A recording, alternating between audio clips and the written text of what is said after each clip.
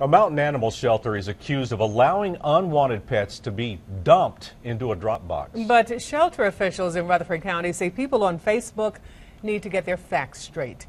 News 13's Frank Fraboni joins us with tonight's reality check. Now, Frank, could they be dumping animals down a chute right on top of other animals, as some people have suggested? Uh, well, not exactly, Larry. They do have an animal drop box or building, but it also has self locking trap doors for the animal's safety.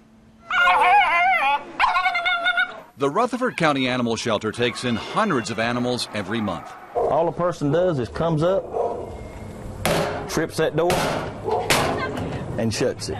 Some of them come in after hours through what's called a drop box. The truth of the matter is, it's not an, actually a drop box. It is a six by eight building. The building is sectioned off into three kennels, one for cats and two for dogs. It's a first come, first serve type uh, building that we have. But after someone posted a picture of it on Facebook, the bold allegations began that animals were dumped through a hole onto other animals. I believe the person that posted the picture had good intentions, uh, but then folks with some type of agenda got on the bandwagon and it went from there.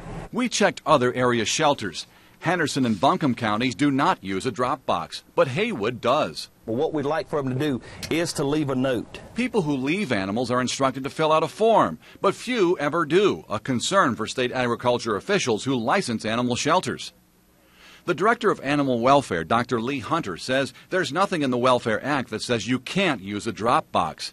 But he also adds their use across the state has been dwindling since the pets often arrive with no information. Shelter officials say this is a safe way to surrender a pet. Without it, people have left animals in airtight boxes, have chained them to the fence, and have even thrown them over the barbed wire. I've come here and there have been kittens in tubs with covers on them. There have been labs that have been lined up along the fence. We've had animals thrown over the fence.